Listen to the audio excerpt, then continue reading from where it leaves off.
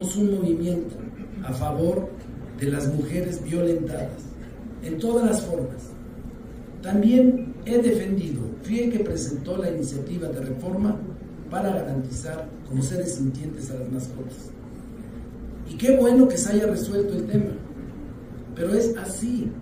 Todos los movimientos en este país se tenían que expresar, visibilizarse, porque esconderlos significa esconder los ojos a la verdad a la realidad. Y acá varias veces hemos visto cómo hay gente que tiene mascotas que no se hace responsable de ellas.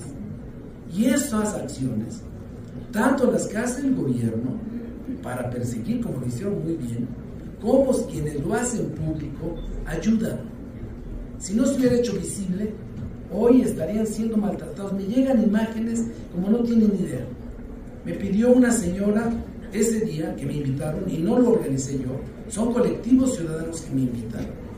Y no le podemos dar la vuelta a la espalda, darle la espalda a los problemas que tiene Puebla, si de eso se trata. ¿Cómo vamos a cambiar una sociedad si escondemos las cosas? ¿Cómo íbamos a lograr que los afro mexicanos estuvieran en la Cámara si no los escuchábamos? A los migrantes,